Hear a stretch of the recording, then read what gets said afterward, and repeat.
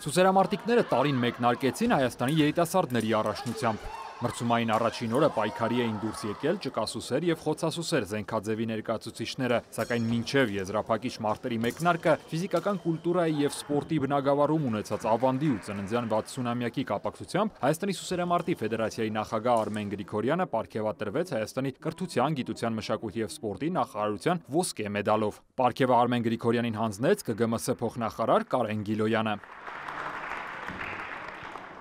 Ֆեդերացիայի նախագահի պնդմամբ տարվա մեկնարկը առավել քան հաջող է ստացվել։ Առաջնությունից հետո կազմավորվելու է նաև ազգային հավաքականը, որը կմեկնի հավաքի եւ կպատրաստվի կայանալիք միջազգային մրցաշարերին։ Այս մրցաշարից հետո կկազմակերպվի Հայաստանի հավաքականը։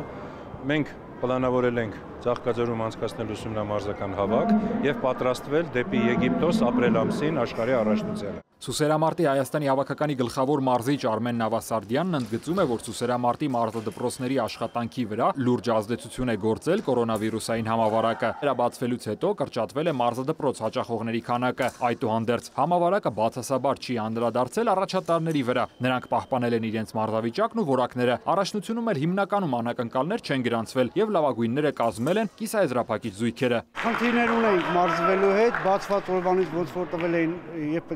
սկսենք պարապել, սկսել ենք պարապել, մարզումները եղել է ճիշտ է, ոնց որ կանոններն հերոյ իրարից եւ փորձել ենք